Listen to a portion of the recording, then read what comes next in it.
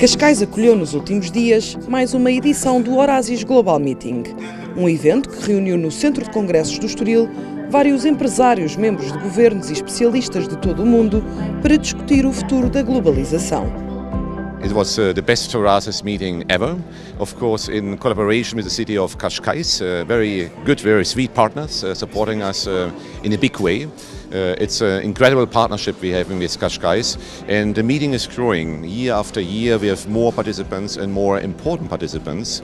We have uh, head of states, we have delegations from Namibia and Armenia, both head of states attended, and around 15 ministers from all around the world, and of course all the other delegates, the CEOs and the entrepreneurs. So um, we are growing and we are growing together with Cascais. Forma a atrair investimento para o Conselho e para o país, o Congresso contou com o espaço Cascais Lounge, onde foram realizadas várias reuniões com potenciais investidores. Nos últimos dias tivemos a dinamizar uma série de reuniões uh, com potenciais investidores para o território nas mais variadas áreas, desde o venture capitalism até à parte de imobiliário, à parte de parcerias com as nossas universidades, uh, criação de emprego, atração de empresas. Portanto, tivemos aqui a fazer um bocadinho de tudo. Portanto, o espectro de participantes no evento Horácis, uh, dentro destes 800 CEOs, é muito variado e nós tivemos um bocadinho a perceber também a que é que vinham, o que é que procuravam e que oferta que as caixas tinha para dar.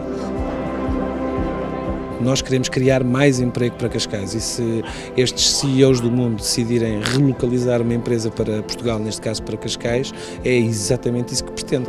A terceira edição do Horásis Global Meeting terminou esta terça-feira, mas já há data marcada para 2020.